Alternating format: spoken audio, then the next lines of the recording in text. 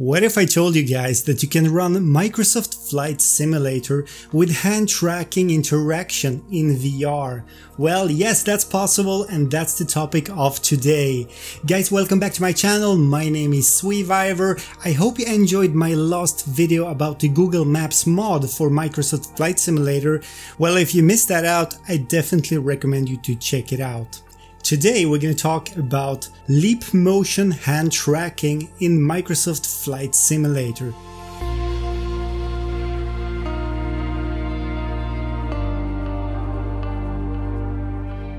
As you know, there was a Sim Update 7 released yesterday for Microsoft Flight Simulator and it introduced VR controller interaction. Now the VR control interaction is far from perfect, it's quite buggy, but I'm sure it will improve over time. Now thanks to a SteamVR plugin that emulates VR controllers in any SteamVR game or application, you can run hand tracking instead of controllers. So let's say you don't have any VR controllers or if you don't want to use your VR controller because maybe you have a yoke and rudders and all that stuff and you just want to do some cockpit interaction, maybe turn some knobs, uh, change the frequencies on the communication radios and all that. Now it's finally possible.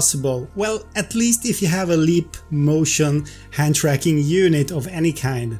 But more about that later. I'm gonna show you step by step how you install this plugin and how you make this running in Flight Simulator 2020. But first I want to talk a little bit about this hand tracking, which is far from perfect, okay?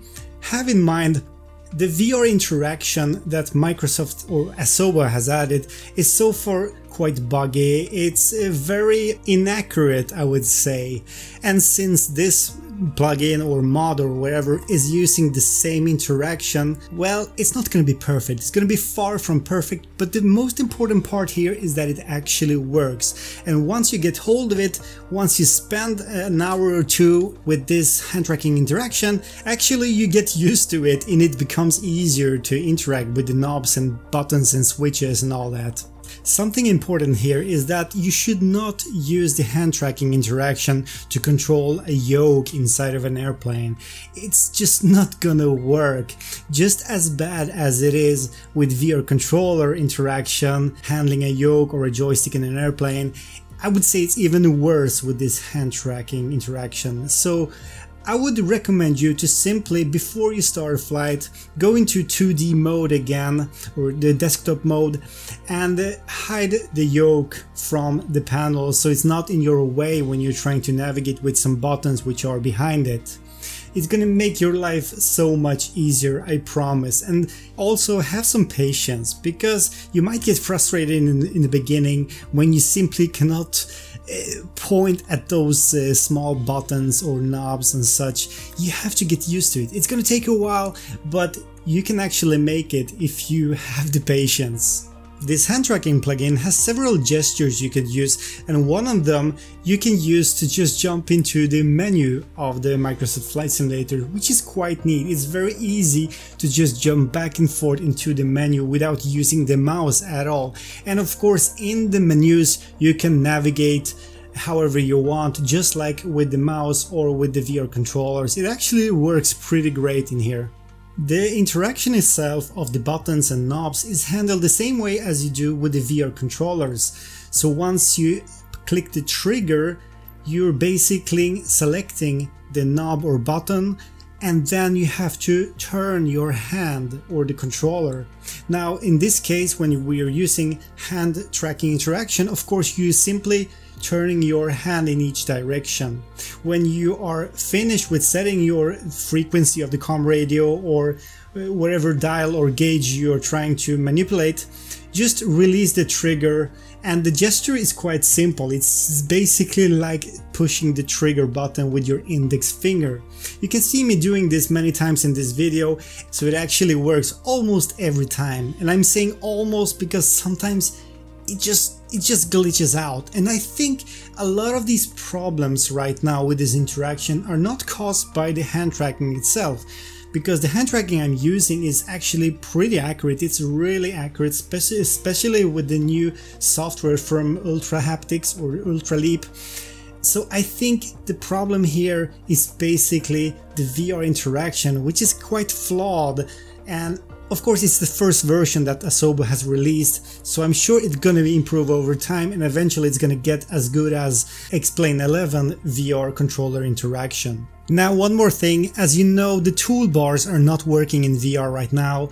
Uh, they might fix it at any point, uh, there might be a hotfix coming, but right now you cannot even use the toolbars with the mouse or the VR controllers, but that's gonna get fixed and once that's fixed by Asobo, then you're gonna be able to use the hand tracking to interact with the toolbars, with the air traffic control and all the other VFR map and stuff. So just have that in mind that is not working as of now. Anyway guys, now that I have warned you about all the flaws and that this actually is far from perfect, let's head over to the computer and check out how this is installed and how you make it running with Flight Simulator 2020. Now as I said earlier, you could use this either with the Pimax hand tracking module from Ultraleap or any other Ultraleap module which is existing but I would say I would highly recommend you to use one of the new versions of the Ultra Haptic models and one of them is the one Pimax is using. It has a mu much wider field of view, it is more precise, it's more accurate and it just works better than the old Leap Motion uh, modules. If you're a Pimax user and you already have the Ultraleap hand tracking module, then congratulations. If not, you can actually find it on the Pimax store and buy it separately for any Pimax headset. It actually is compatible with all of the Pimaxes out there. You can of course also find the regular Leap Motion module, both newer and older versions online on Amazon for instance and many other shops. Now, this is the plugin we're going to use for Steam VR. It's on GitHub, it's called Driver Leap, and that is what enables Steam VR controller emulation with hand tracking. The installation is pretty straightforward. I'm going to give you the link in the video description, of course, to this plugin. And there are basically three steps that you need to take here. First of all, we're going to download the Ultraleap Gemini 5.2 version. This is very important. You need this latest version of the Ultraleap software to get it to work. Just download it from the link that is provided on the GitHub page and if you don't have an account on the Leap Motion uh, website, just create one for free. Next, download the plugin itself, the Driver Leap plugin. The third and last thing we need to do is to add a very important line in the SteamVR configuration file. And I think we can start off with that because no matter what headset you have, you need to do this. Or I mean, no matter what Leap Motion module you have, you need to do this anyway. So when it comes to the SteamVR configuration file, it could be located in two different places and I would recommend you to put it in both of them just in case because it could actually be that this file exists in two different locations but SteamVR is only using one of them and it's actually hard to tell which one SteamVR is reading from. Now in my case, the configuration file which SteamVR is using is located in my user uh, folders appdata, local and openVR. The file is called steamvr.vrsettings. If you don't have any file in there, check the program files steam and then config. Now open the file with any notepad or any kind of text editor and uh, scroll down to the Steam VR bracket. Here you're gonna insert this line and I recommend you, just put it in the top inside of the Steam VR bracket and don't forget to put that comma at the end of it otherwise the file might get corrupted so do just like I'm showing you here. After that just save the file and close it. Now let's move over to the Steam VR Leap Motion plugin. Once you have downloaded it, you're gonna have to browse to a folder where Steam VR is installed. I'm showing you where my Steam VR is installed and inside there, there's a folder called drivers. Now copy the content, which is just a folder called Leap, just put it inside of that Steam VR config directory.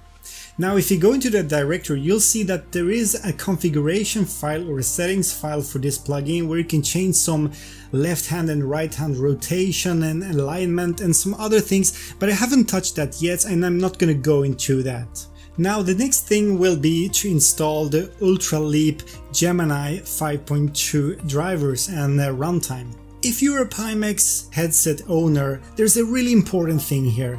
As you know, when you connect the Ultraleap or Leap Motion hand tracking unit, you're gonna see that PiTool is asking you to download and install the Leap Motion driver especially if you're connecting the hand tracking module for the first time. Now this is very important, do not install this Leap Motion runtime. It's not needed here. We're gonna use the Gemini 5.2 instead, because the runtime which PiTool asks you to install is an old Oreo, Orion version, something like that, and we're not gonna use that and it's not compatible with this plugin. Now let's say you already have that old uh, Leap Motion installed, remove it, just uninstall it from your computer and then you'll see in PiTool that, uh, that it asks again for the runtime. Now let it be as it is and just install the Gemini 5.2 runtime instead, the one we just have downloaded from their website. There's gonna be a blue pop-up window uh, with a warning, don't worry about that, it's a safe application so you don't have to worry, just accept it just as I'm doing here. Now once it's installed, bring up the Ultraleap tracking control panel. If your Ultraleap hand tracking module already is connected to your Pimax, if everything is green then we're good. If something is wrong, then I suggest you double check so the hand tracking module is correctly uh, plugged in into the Pimax headset. If the bars are green, then we can do a test to see how it works. Go to the second camera feed tab and click on the open visualizer. Now this will start up Steam VR and then the visualizer itself. You can put it on full screen and then you'll see that your hands are being tracked by the hand tracking module. Now when we know it's uh, ready, that the hand tracking module is installed and working correctly, uh, quit the visualizer and now you will see that there is a leap motion icon on the SteamVR status bar uh, right next to the controllers. Inside of VR, you're gonna immediately see that you can control both of the Valve Index controllers with your hands. And if that works here, then it's gonna work in Microsoft Flight Simulator 2020, of course. So all that's left is simply to start up Microsoft Flight Simulator 2020, start up flight and just try this out. Guys, I know it might not be perfect, it might not be the best way to interact with the cockpit panels, with the gauges, with the knobs, with the buttons and all that, but still I think it's a wonderful addition to Microsoft Flight Simulator 2020, especially since the interaction is not that easy in VR after all. And if you're using a yoke just like I am doing with some rudder pedals and some thrusters and stuff, then you can simply just you don't have to hold a controller to interact with this stuff. You don't have to use a mouse. You can simply just let it let go with one hand of the yoke and just push a button bring the flaps down bring the gears up or down or wherever and enjoy flight simulator. Even more i guess. So guys, thanks for watching, let me know what you think about this uh, method of using hand tracking in Microsoft Flight Simulator. And uh, yeah, See you in the next one. Cheers!